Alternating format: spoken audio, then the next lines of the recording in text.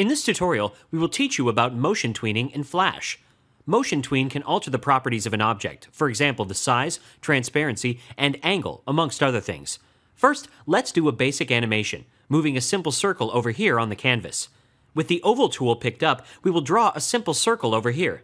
With that done, we will convert the shape into a symbol by right-clicking on the circle and choosing the Convert to Symbol from the menu.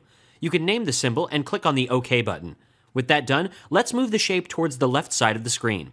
Now right-click on the first frame of the layer in the timeline. Once the menu appears, select the Create Motion Tween option.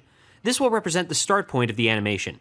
Now let's right-click on any other frame, for example the 15th frame over here, and select the Insert Keyframe option from the menu that appears.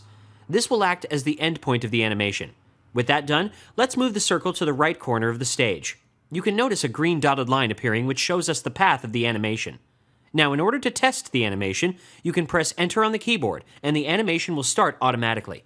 Alternatively, you can move to the control menu on top and click on the play button to view the animation. And that's it for a basic introduction on motion tweening. In the same way, you can keep as many intermediate points that you want for the animation.